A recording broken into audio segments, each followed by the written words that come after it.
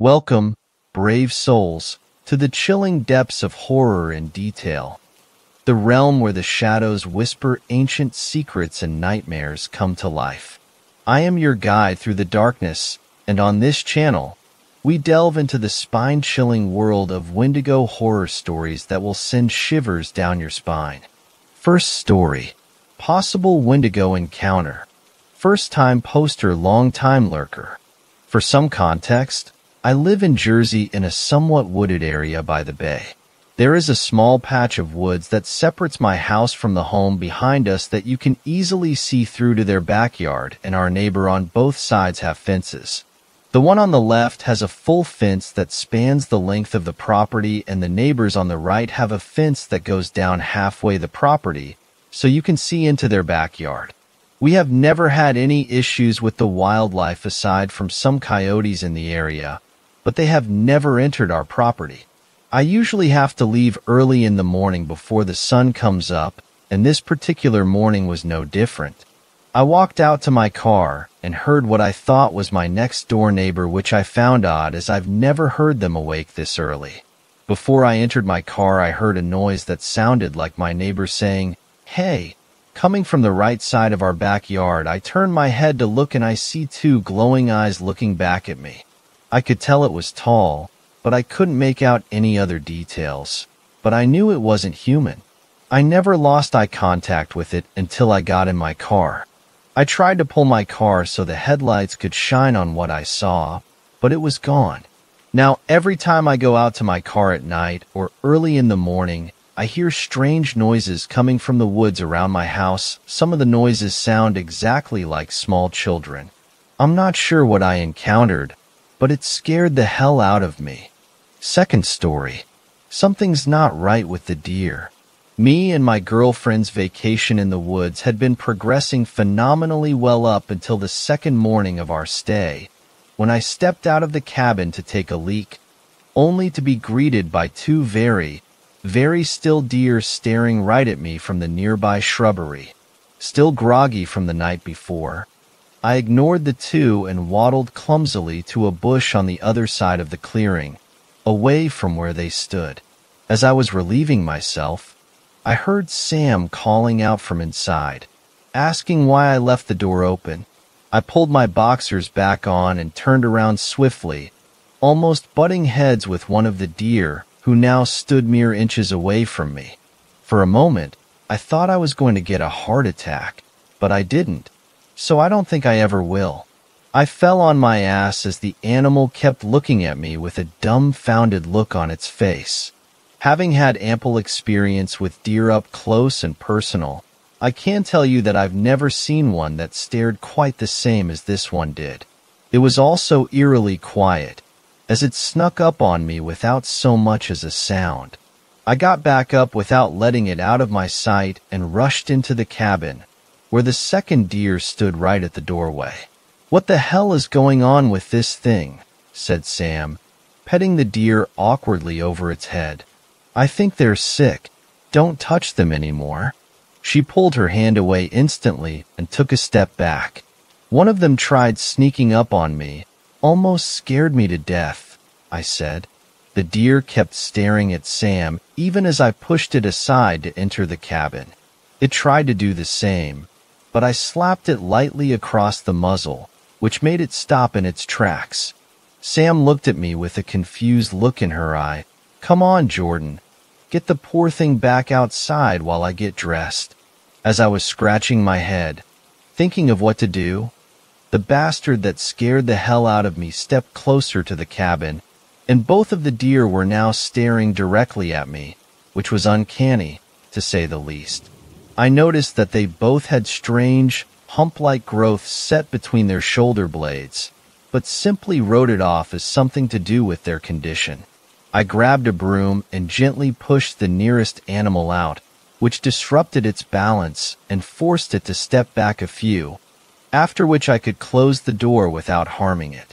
Proud of myself for defusing a potentially hazardous situation, I decided to get a cold one and maybe Google around and inform myself about deer diseases. Just in case. Sam and I spent the rest of the morning huddled in the cabin, watching Guardians of the Galaxy on my laptop.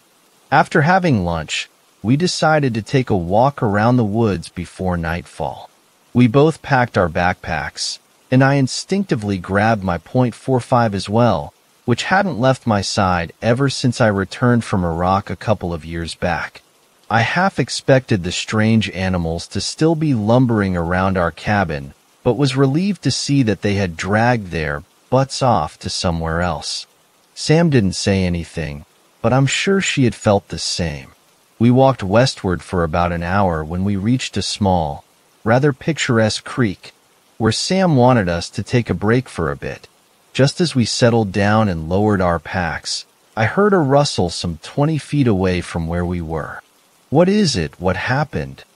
A deep feeling of unease washed over me. The woods no longer looked serene and beautiful, but ominous and menacing.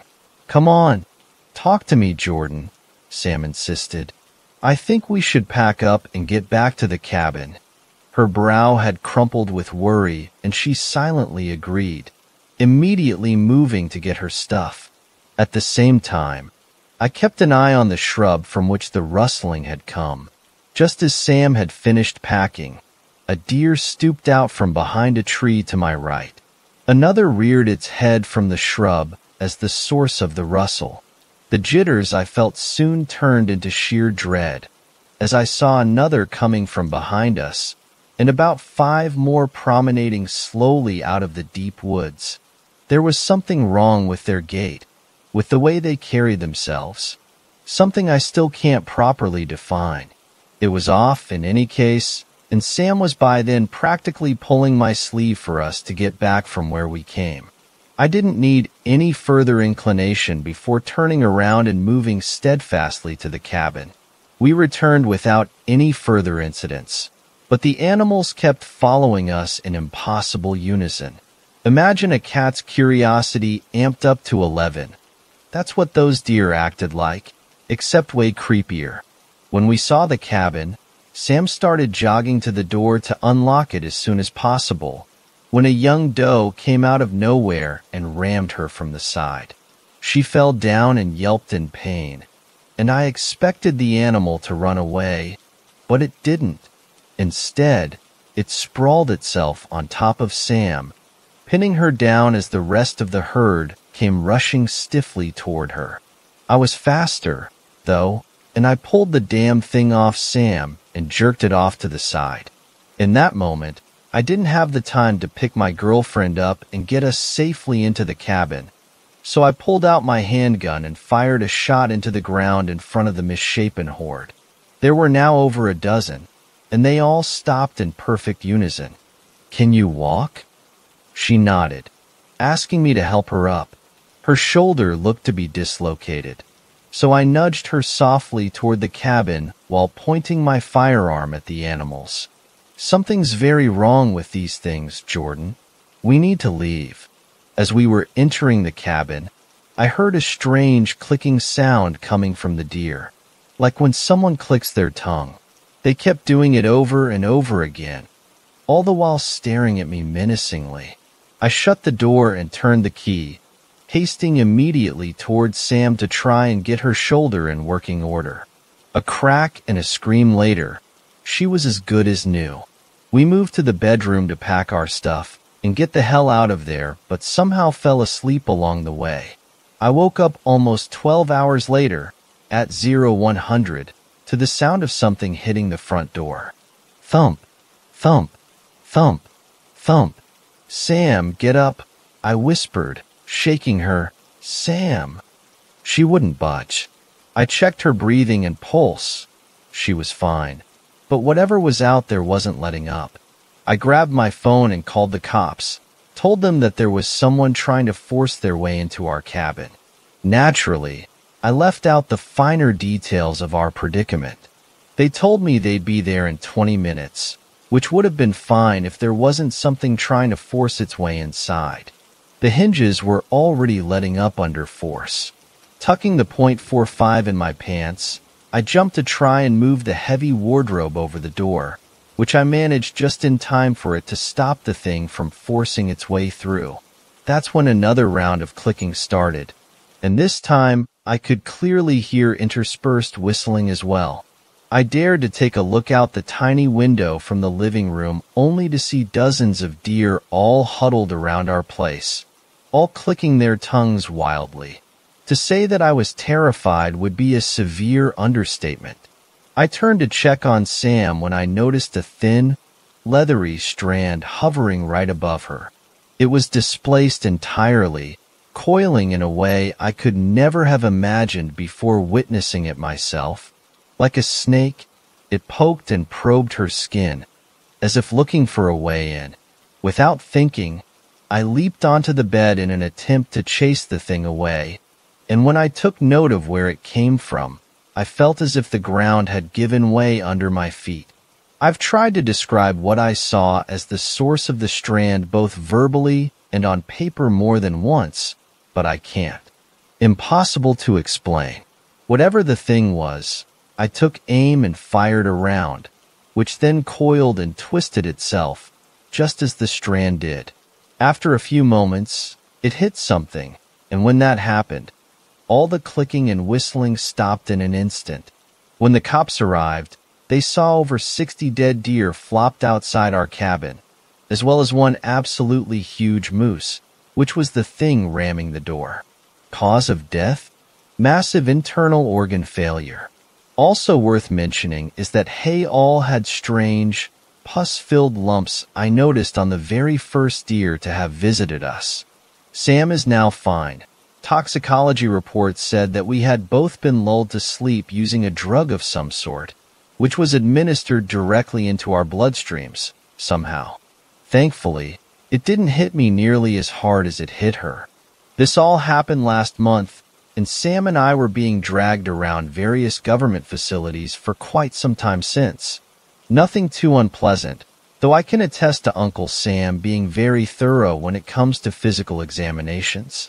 We still don't fully understand what happened to us and what was wrong with the deer, but I have good reason to believe that this wasn't an isolated case, and here's why. While we were being treated like guinea pigs, there was this one offshore lab where numerous other people were being tested on as well, and though we weren't really allowed to communicate with them nor get too close, I noticed something about a few of them, a small, discreet lump located at the nape of their necks. I hope it wasn't what I think it was. Be careful out there. Third story. I will never go deer hunting again. My favorite place to visit when I was a kid was my grandparents' farmland in Wisconsin. We visited often because they only lived a couple hours away from us, and we would typically spend the weekend. My grandfather had retired from farming, but he still kept some cows and rented out his fields to a younger local farmer who grew corn there most years.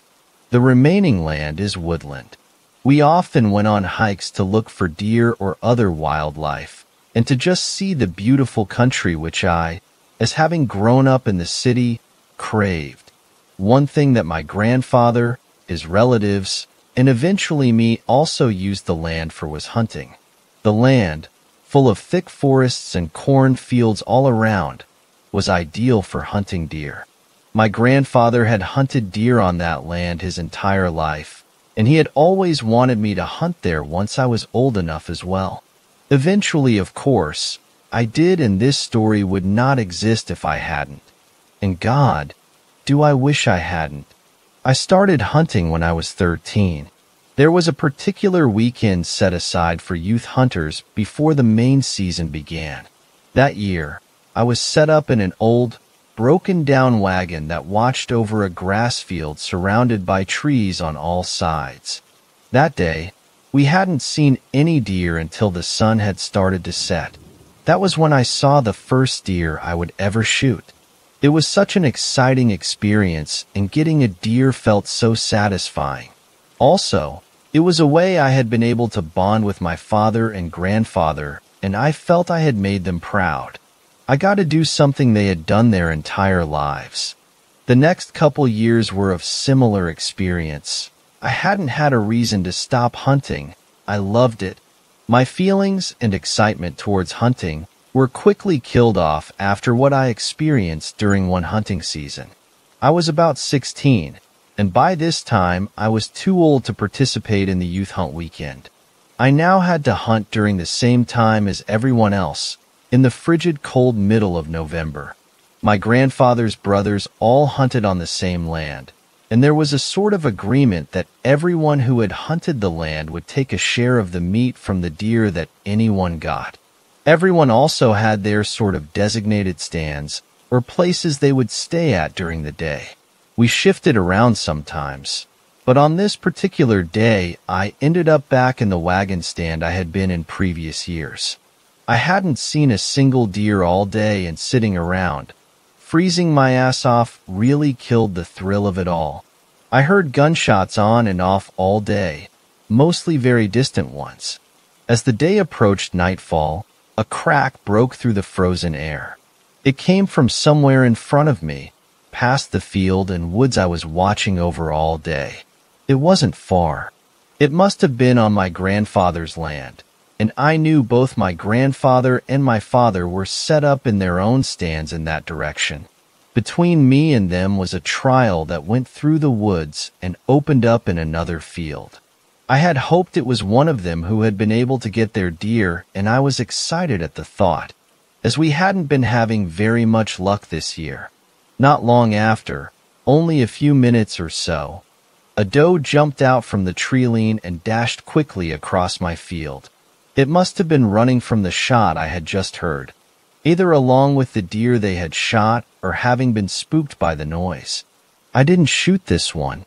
I was after a buck, and I wasn't going to waste my shot on a target moving so fast. I hunkered down and waited to see if a buck would come out before nightfall. I was much more on edge and excited at the possibility now. I had heard a very close gunshot and finally seen a deer. Unfortunately, my buck never came, and I was left empty-handed. Disappointed, I gathered my things, climbed out of the wagon, and made the long, cold walk back through the darkness. I had to take the cow's path from the pasture up to the bar that sat across from my grandparents' house. This required walking on mud and manure that was luckily frosted over and too hard for me to sink into. I eventually made it back to see my grandfather and father outside. They were hooking up a small trailer to a four-wheeler. We exchanged our accounts of how our hunting went and I told my dad that all I had seen was the single doe from a while earlier. He let me know my grandfather was the one who fired the shot earlier and had gotten himself a nice buck. However, it ran far and they had spent hours tracking it. He said that they did find it, and he asked if I would come with and help pick it up. I was more than happy to help. I was ecstatic for my grandfather who had been able to get himself a buck. I hopped on the trailer with my father, and my grandfather drove up around the corner of their driveway to the gravel road. There was no sunlight left at this point, and this was the countryside, so the dark of night was, truly, dark. The only thing visible was what the lights of the four-wheeler unveiled. After a couple minutes on the road, we took a left onto a trail through the woods. We kept on this trail for a while. I don't remember how long exactly, but I remember thinking of how deep in the woods we must have been with each tree we passed and each new shadow the headlights cast into the forest beyond. Eventually got to where they had left the deer. It was nice, I remember that much. A good-sized buck with eight or ten points. I congratulated my grandfather. I got closer, and something was very off to me. Where the deer had a bullet wound. It was shot straight through the heart, a textbook shot. If you have ever hunted deer, you know that the heart is what you always aim for if possible.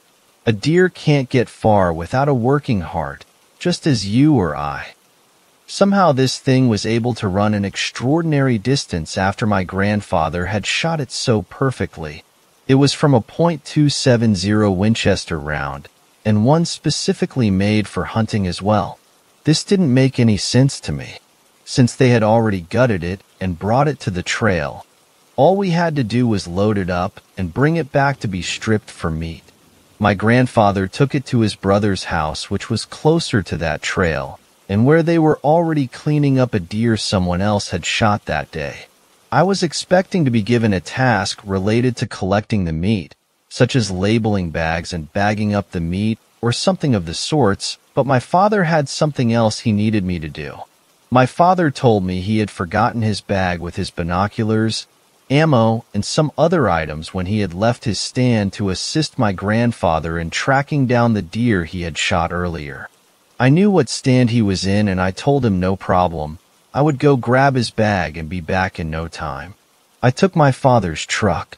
My father had been set up in a stand on the corner where the massive, already harvested cornfield met the trail through the woods into the much smaller grass field where I had been set up in the wagon stand. It was impossible for me to drive the same way that I used to walk back when the sun had gone down earlier. The truck would have a rough time getting down the manure-covered trail I had taken to get back, and even then, it couldn't get into the grass field or the trail after so I could get to the stand. I had to drive around the roads to the opposite side of the massy cornfield and walk my way through it until I got to his stand. I hadn't driven my father's truck before, so just the trip on the gravel roads was nerve-wracking enough. Once I had gotten around and saw the opening for the truck to pull in, I drove up so the headlights of the truck pointed straight ahead at the field. I realized I had greatly underestimated the size of the field leaving the headlights of the truck on to light up the field to at least some degree. I stepped out and began my very, very long walk across the field. Given the brutal weather turned even colder with the sun down, I was still bundled head to toe. I want to mention this detail because along with the snow, my mobility was quite restricted and I could only walk so fast. I knew that there were bears in this neck of the woods, made evident by the trail camera my grandparents had. I believe I was well within reason to still be carrying a rifle with me as I set out to retrieve my father's bag. It was an old .30 semi-automatic carbine from World War II. Not the most powerful or accurate rifle, but I figured it would be the nicest to have if I needed to defend myself from something. I kept it slung around the front of me, using my right to hold it close and keep it from bouncing around and my left hand held a flashlight. I watched just about every other step as I had to traverse over little nubs of what was left of the stalks of corn that had previously populated the field. I alternated my view from the ground in front of me to the field and trees far ahead of me. The headlights from the truck cast a shadow from the remains of every stalk in the field and the trees beyond leaving a million shadows cast on the field, pointed towards the woods. Even though I had lit the field nicely for myself, it still felt far too dark for my comfort. The closer I got, the more I felt my ridiculous paranoia clouding my mind with random thoughts.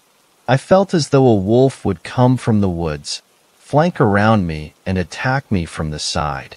I actually stopped in my tracks and panned around to look for something in the field to be moving towards me. I did this a few times on my way to the stand. Each time, there was nothing. It was completely illogical fear that made me look in the first place. I had no clue what was getting to me, but it only got worse the longer I was out there. I chalked it up to it being late, dark, and me being alone in an empty field and the vast forest in front of me who wouldn't have some offsetting fears or imaginations. I found myself walking faster, stubbing the front of my boots into the ends of the corn stalks. I told myself that the faster I get the bag and get back, the sooner I'll be relaxing in front of the television in my grandparents' house and eating a nice warm meal. No matter what I told myself, the paranoia didn't stop. The scene before me combined with the cold weather surely didn't help but neither did the dead silence in this field. Everything felt so dead out there. I couldn't hear anything but the snow beneath me as my boots as I took each step. Not so little as a gust of wind accompanied me. As I took another step, I could feel my foot pushed right back up as something moved beneath it quickly. The snow from the ground blew up like a landmine, and something sprung from the ground. I shrieked like a child and jumped back, nearly tripping over the broken stalks behind me as I did so. A rapid fluttering noise came from whatever it was that had risen from the snow. My paranoia felt horrifyingly justified, but only for a moment as I quickly saw what it really was. A bird. What made me think I was being attacked by some monster in the snow was just a bird. What the hell was it doing? What type of bird burrows in a corn field in the middle of winter like this? I calmed myself and began walking again, letting a brief laugh at myself before once again the paranoia settled back in. More images crowded my head. An angry bear charging out of the woods to maul me to death. Some sort of weird serial killer stalking me from the trees before coming out to chop me up. As quickly as I could shake these ridiculous scenarios I was making up left and right in my head. I could not dismiss the feeling of eyes. The feeling like something was watching me felt all too real. It could have been anything an owl, a rabbit, maybe even a deer. The thought that there was probably a creature of some kind watching me out in the woods that lay ahead of me was one that would not leave me. As I approached the stand, I slowed my pace and pointed the flashlight ahead, at the base of the stand and the trail beyond. This is where the reach of the headlights seemed to end. The trail and woods on either side were too dark to see. Nonetheless, I approached the stand. Still, I was cautious of all the terrors I told myself could be hiding in the trees. I approached the makeshift ladder for the stand. The build of it overall was quite nice. A wooden watchtower would be the best way to describe its appearance. It was about 15 to 20 feet tall and had a nice sort of bucket at the top, more than big enough for a couple hunters to sit comfortably for a day. I flung the rifle to my back and clicked off the flashlight before putting it in my left coat pocket, but as I did so, I noticed something on the ground. The snow was depressed, in a round sort of ball shape. I pulled my light back out and clicked it on. I thought I could tell what I saw looking at, but in my head, I told myself I must be confused. I was only more confused when I clicked the flashlight back on this mark in the snow resembled a deer track, but it couldn't have been. At least that's what I told myself at the time. It wasn't possible. I was standing beside it, but rotated my left foot to be parallel. This thing was nearly as long as my boot. Impossible. Was there a moose in these woods? It was definitely possible, however. Extremely unlikely. Was the track from a moose even this large? As one can imagine, this only heightened my paranoia. I quickly glanced around me to see if by some off chance whatever left that was still nearby. Again, I hadn't seen a thing. I put the flashlight back in my pocket and made my way up the ladder. Sure enough, my dad's bag was sitting right at the top. I climbed my way up and into the little nest. I wanted to make sure he didn't leave anything else lying around because there was no way in hell I would bring myself to make another trip out here tonight. There wasn't anything, so I zipped up the bag and slung it around my left shoulder, adjusting to make sure I could still get the gun around to my front and that nothing was tangled. I felt some sense of relief wash over me as the trip was half over. I just had to get back now. Being up in the stand gave me a sense of safety something I wanted to hold on to.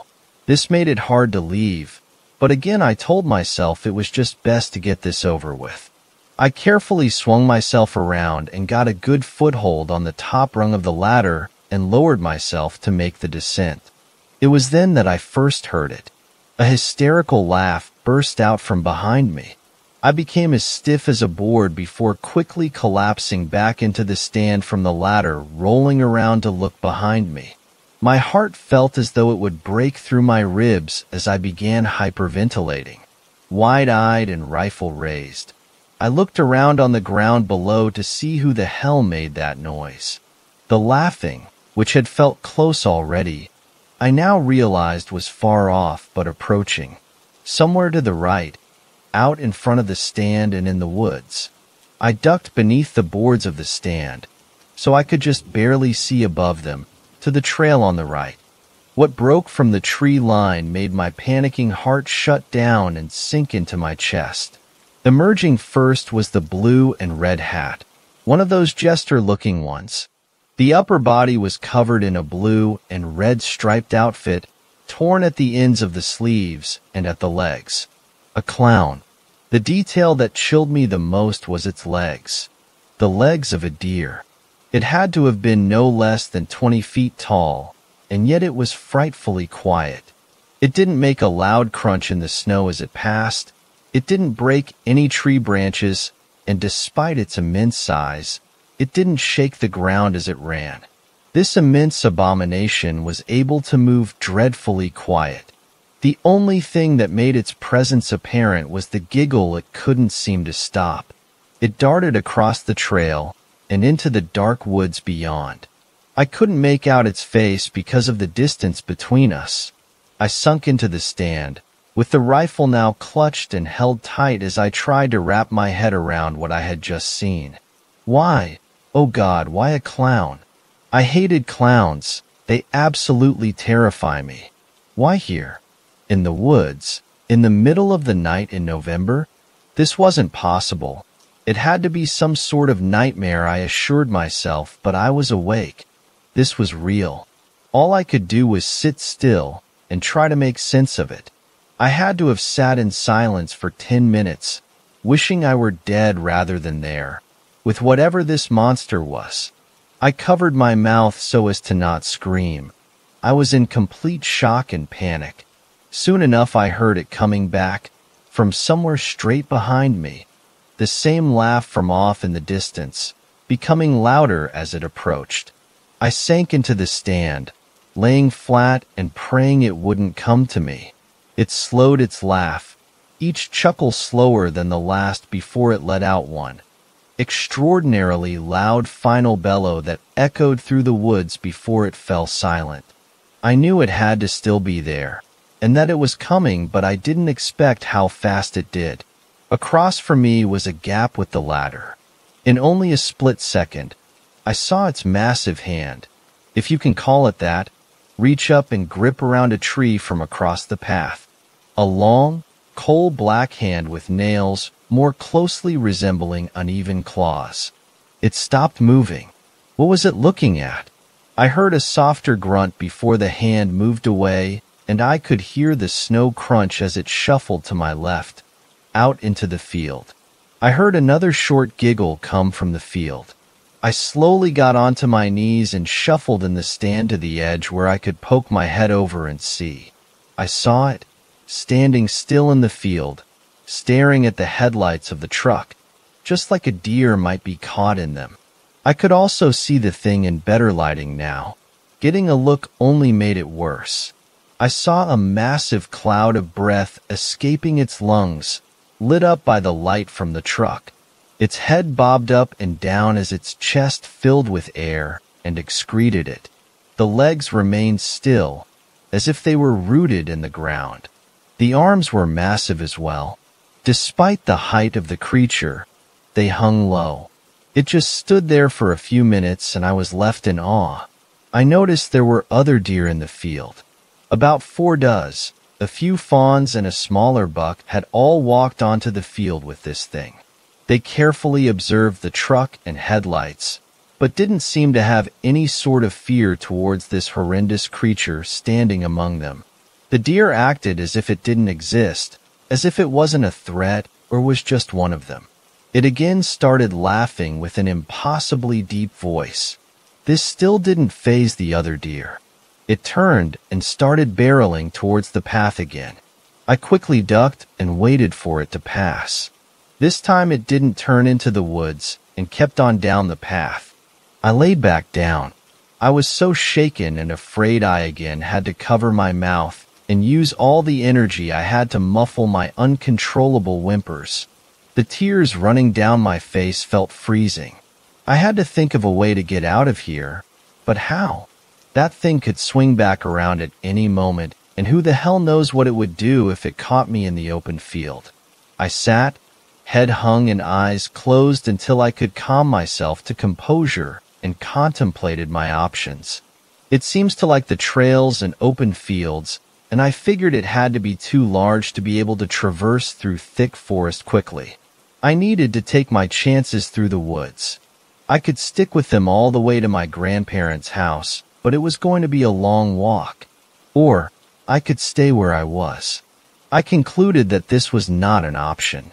Of how much I had seen it already and given that it was tall enough to just look into the stand if it felt curious, staying wasn't safe. I like this area too much. I made a plan to move once I was calm enough to get down the ladder safely.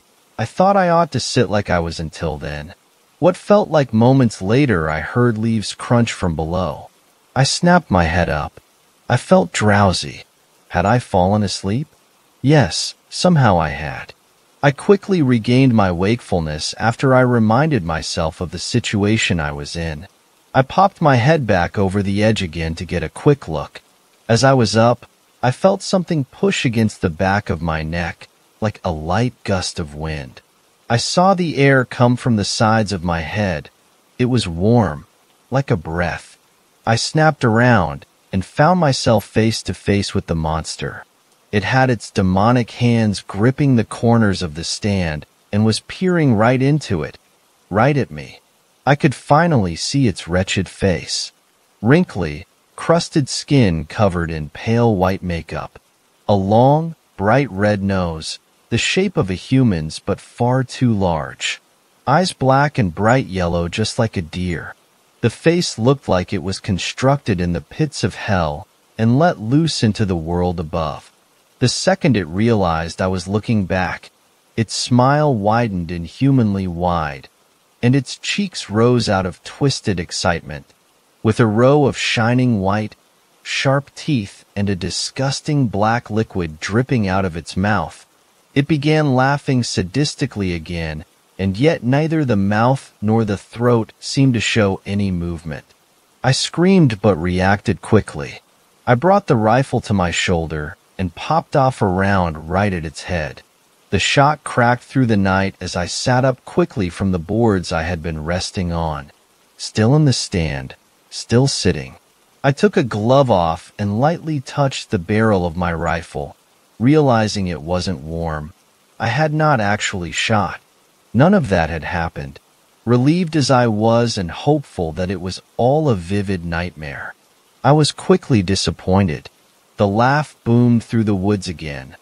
This time its voice sounded as if it was fragmented into many others. It sounded as if a choir of demons were laughing in sync with each other before a deep, booming voice from the distance spoke. Did I scare you, boy? Followed by another round of laughter. I had to move now. I retrieved my things and quickly made my way out of the stand, allowing myself to fall the last six feet. Picking myself up quickly, I took off into the woods across the trail. I dashed through the trees as quickly as I could, rifle still in hand. I heard the laughter emerge in the trail again behind me, it had reached the stand already. It let another shrieking bellow into the night, this one much longer and louder than before. It was angry. Even with the distance I had put between myself and it, my ears were in pain after hearing it. I kept on running through the woods. I was surely dead at this point. That thing would find a way to get to me no matter how deep in the woods I ran. I cleared my head of these doubts and focused on just running, my only chance. To my misfortune, it caught up quite fast. No more than a few minutes after I had left the stand and it was on my tail. I didn't hear it sooner because it was as quiet as a deer might be running through the woods would. When it got close, it couldn't contain its excitement and broke out into another fit of laughter as it clawed at the trees pushing them aside to catch up. I knew my rifle couldn't do much to this thing, but I had to try. I couldn't see a thing in the darkness, but I turned and started popping off rounds at its chest, the most obvious and hard to miss target I could pick. It was still a good 30 or 40 feet behind me, and there were a lot of trees between us. It didn't seem to have an effect. I turned and kept on for about 30 seconds before I was reminded that I couldn't outrun it. and it was even closer now. I turned a corner and twisted to get a line of sight as I realized it had closed the distance between us. It tripped on something and fell, its upper body hanging on a big tree right above me with its right arm and head locked between a branch and the trunk. It reached out with its right arm. I jumped back trying to escape the grab, but I failed. Its hand fit around my entire torso as it jerked me up towards its face. The head was shaking like an angry dog as it opened its mouth wide again. I could see the hate in its eyes. For whatever reason, maybe a desperate last-minute measure, I clicked on my flashlight and pointed it at this monster's eyes. It tilted its head away in a fast jerk to escape the light of my flashlight. Given this momentary opportunity, I raised the rifle still in my right arm and popped a few more shots off this time at its head. I was tossed to the ground as it reacted. It fell from the tree and let out a loud, painful cry while covering its face with its hands. This made my ears feel as if they were about to explode. I picked myself back up and took off as fast as I could once again. I heard it get up, now crying and screaming in a more human voice as it ran off into the night once again. I just ran as fast as I could and for as long as I could muster, and you best believe I made a good distance running off of that much adrenaline. I only became more excited when I saw lights. They appeared to be some sort of yellow light, like that from headlights on a four-wheeler or car, and I hoped that's what they were. I picked up my past, but then stopped myself in my tracks. When I got close enough to get a clear visual on the light source, my hope turned to even more dreadful confusion. I saw a tent. A tent like you might expect to see from an old carnival. It was striped black and white, up and down. It was round and came to a little point at the top. The lights had been strung all along the edges, at the top of the frame. Bright yellow light bulbs, each one, in order, shut off every so often and turn back on to give that sort of illusion that a ball was rolling through them. What made even less sense was the ground it sat on. There was a circular patch of perfectly green, even grass around the whole thing. There was not a single tree in this perfect little grassy disc out in the middle of the woods. I stepped onto the grass cautiously, I don't know why I had such curiosity after having just escaped a monstrous abomination, but it didn't stop me from wanting to check out this tent. I approached the tent and then walked around to try and see if it had some sort of entrance. As I was coming around, I saw a huge beam of the same yellow light escaping what I thought had to be the entrance. Right when I was about to go up and open it, I faintly heard the cries coming from the woods again. I jumped back into the trees and got low to the ground. I knew now that there was no outrunning this thing, so I ought to wait and let it pass. Eventually it broke out of the trees and into the grass area right before me. Still gripping one hand over its face, it pulled open the entrance to the tent, unleashing a huge flash of light into the night. It climbed head first until it was miraculously all the way inside. I just sat in silence and kept a close eye on the tent. After it had gone in, I didn't hear any noises from the creature anymore. No cries, screams, horrid laughter, or speaking. After a few minutes, the light bulbs on the tent shut off one by one, and the light coming from inside faded until it was gone. I still laid there for another few minutes, left confused yet again. Slowly, I climbed to my feet and started walking through the woods once again. I kept a more slow and steady pace. I wasn't sure if this was over or if running was even the best option at this point, so I just stuck with my slow, steady, and quiet walk. Soon enough, I found a road and followed it until I found my grandparents' place again. My grandmother was the only one there. She let me know my father and grandfather had gone out to look for me. I called up my father who, by some miracle, had a connection out there. I told him to get back. I had a long drawn out screaming match to tell them to get out of there as quickly as possible, but I wasn't listened to. Luckily, they came back, perfectly fine, but having seen nothing. That night, I tried to tell the truth and tell it as straight as possible to my family, and they didn't have much to say in return.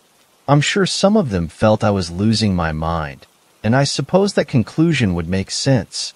I was assured that if that tent was there, and if there were any tracks left, we would see it in the morning. I didn't sleep that night for any number of reasons you might imagine, despite having gone through what I had. I wanted to go back and find everything and prove I wasn't crazy because the longer I thought about it, the less sense it all made.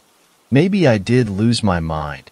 The next day, we all went out and found absolutely no remnants of the creature and no mysterious tent or the plot of grass it sat on. I don't believe I'll go hiking out on that land anymore, or maybe in any woods. I certainly don't think I will ever hunt again. I have a profound fear of the forest at night that I have yet to shake. For a while I believed I was insane, but as I write this I realize I can't be. I did shoot my gun that night. We found the brass. I was picked up by that thing. Everything about that night is still vivid in my memory. I saw everything so clearly, and I will never forget it. I don't know if that thing has a tie to that land in Wisconsin, or if it resides in other woods, or maybe it isn't bound to any forest. Maybe a time? Another condition of some sort? I am looking for answers, but I have failed to find any that make any sense. If anyone has ever seen or heard of anything like this, I need to know. Fourth story. The Wendigo story. I'm not entirely sure if this was a Wendigo, or what I just usually refer to this as that since this took place not far from an Indian reservation in upstate New York. A few years ago, 2012 or 2013 I think, since I was still in high school then, I was at a party with some friends and as the night goes on, maybe 11 to 12 at night, one of my friends and I go outside to have a cigarette. The second we get outside, there's just this completely awful, foul smell, like just blood, vomit, piss, and death all at once. Now this was somewhat the middle of nowhere, so we just figured it was a dead animal and went on with having that cigarette. Less than a minute later, we hear something moving in the dark, and sure enough, a deer comes hobbling into the very edge of the porch light. So we just mention, ah, how cute, and the like. But then I noticed something. One of its front legs was messed up in some way. And I'm talking like broken in multiple places messed up. So my friend and I are slightly off put by this, less than we should have been since drunk, and finish up our cig and go to head inside. However, right as we start to do that, one of the two porch lights goes pop and goes out. So now it's less light outside and this deer is back into the darkness. So, a bit giddily, we both do this like fake scared squeal at each other and turn around to go inside. And that's when we heard it. That undeniable sound of nails on the concrete patio. We both slowly turn around to see this hunched over, rotten coyote doing this very slow, very unnatural crawl towards us. We go from zero, 600 paralyzed with fear almost instantly until another one of our friends playfully pulls us through the open door, telling us to get back to the party. To this day, I have not experienced anything like that, and it's one of the most horrifying things I've ever experienced. Fifth story. Never swerve to miss a deer. You could hit something much worse. It was one of those nights. The fog hovered in the air like a curtain waiting to rise on a show I would never forget. Being called in to work early on three hours of sleep was bad enough.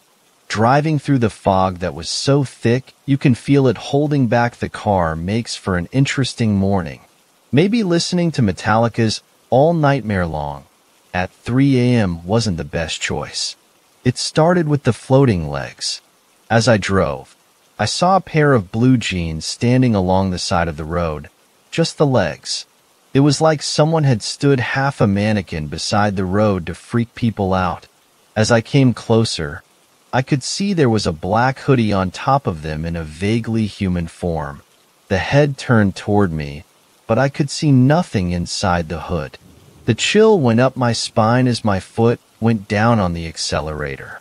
I was so freaked out that I never saw the deer running straight toward me.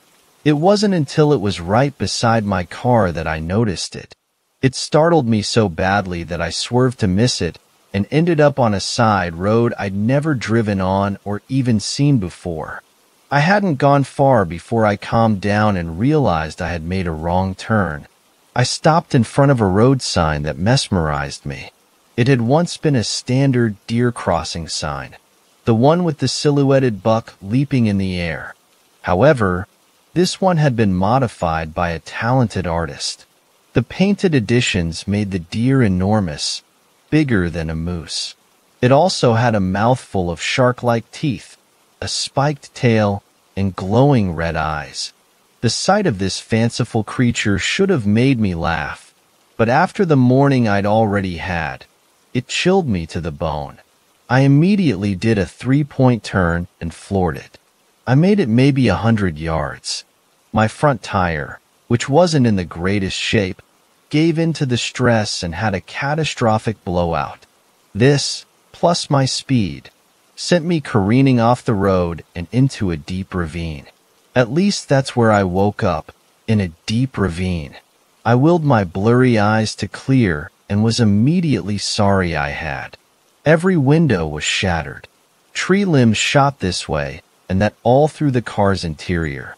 It looked like the love child of an Ent and a Buick.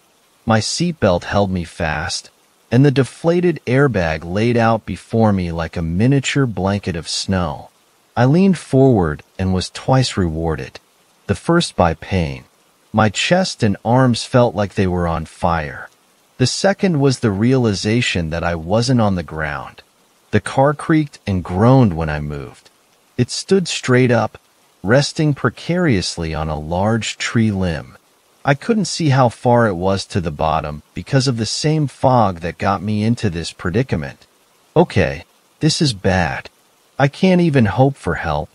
No one would ever see me down here. To keep me calm, I did some physical assessments, starting at the feet. Toes wiggle, that's good. Right leg bends. Left leg, oh my god. I'm gonna call feeling like I've been stabbed by a thousand knives. Bad. I leaned forward just enough to see my leg. My pants were covered in blood.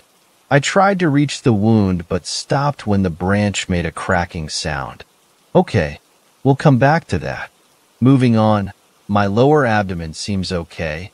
My ribs feel like they're the main course at a BBQ and my arms shoot daggers every time I try to move them. The most disturbing part of all this is the lack of blood on my shirt. Okay, end assessment, possible broken leg, possible broken ribs, possible internal bleeding, car destroyed, hanging precariously in a tree that could give out and send me falling to my death at any minute. Low possibility of rescue due to the early morning hour, fog, and being out of sight of the road. So, essentially, I'm dead. The worst part of all of this was being alone with my thoughts, knowing that death was on its way, and there was nothing I could do about it. All these thoughts disappeared as a slight breeze made the hair on my neck stand on end, and I heard a low rumble. I slowly turned to face the noise and wondered if I was hallucinating. I saw two huge red orbs coming steadily towards me out of the fog.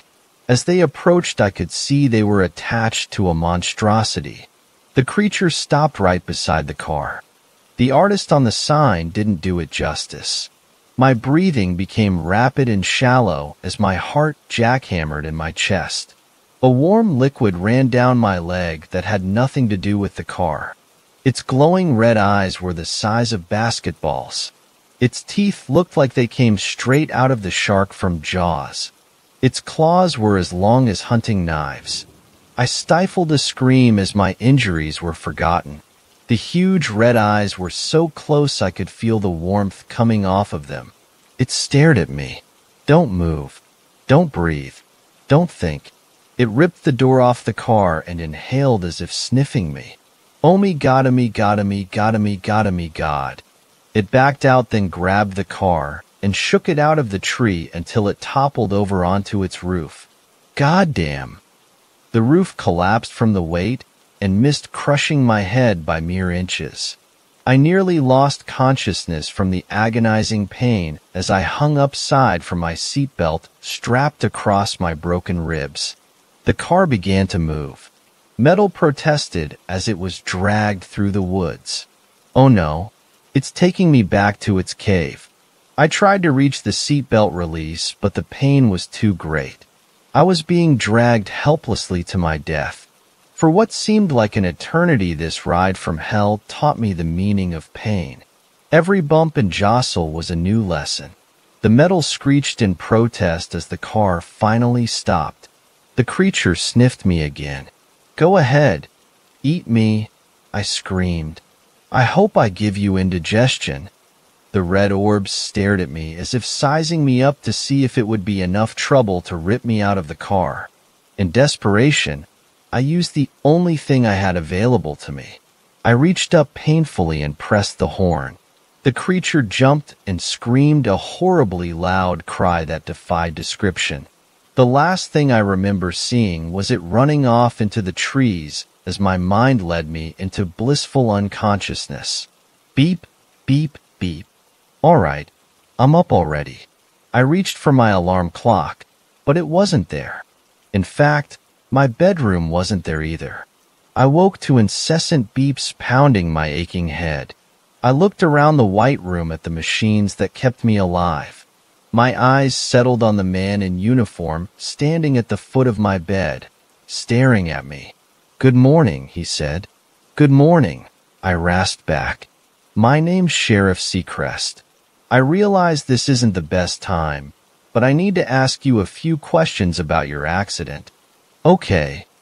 From the skid marks on the road, I figured you were doing at least 80 when your tire blew. Any reason you were going that fast? Am I under arrest? The sheriff studied me for a moment. No, you're not under arrest. I'm just trying to figure out what happened. I was scared, I said barely above a whisper. Scared of what? Of whatever was in the fog. So, what was in the fog? I laid quiet for a long time. I wrestled with the implications of telling someone else what I saw. I wasn't even sure myself. My imagination. The sheriff seemed a little disappointed.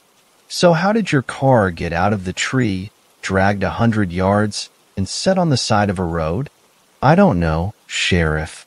I wish I had the answers for you. But I blacked out when I landed in that tree and woke up here. And that's all you remember? Yes, sir. Was there any wildlife around? W, what do you mean, wildlife? Oh, you know, squirrels, foxes, deer, he said, emphasizing the last word. And nothing that I saw as I said. I blacked out. He closed his notebook. Thank you for your help. I hope you recover soon. I hope so too. The sheriff started for the door, stopped, turned back, and looked into my eyes as if he desperately wanted to say something, then faltered and said, You're very lucky to be alive. I know,